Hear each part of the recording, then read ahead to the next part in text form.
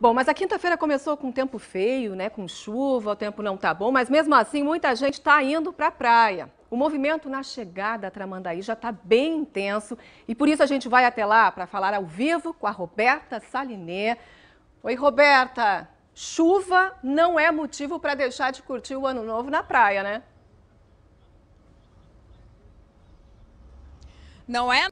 E a gente começa esse Jornal do Almoço comemorando e agradecendo. O nosso desafio do bem, que começou antes do Natal, arrecadou até agora 83 toneladas de alimentos. São 20 toneladas a mais que no ano passado. E isso é claro que só foi possível com a ajuda de todos vocês aí que entenderam a importância dessa campanha. Mas o desafio do bem não terminou, ainda não, tem até o dia 6 de janeiro para você fazer a sua doação.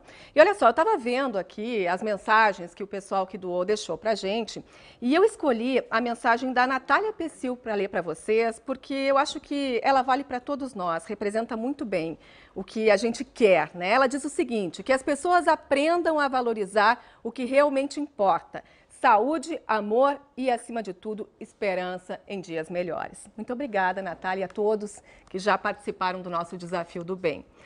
E lá em Cruz Alta, na região noroeste, o Desafio do Bem também está batendo recorde de arrecadação. Por isso, a gente vai para lá agora ao vivo para conversar com a Laís Belter e ela vai contar para gente quantas toneladas de alimentos já foram doados.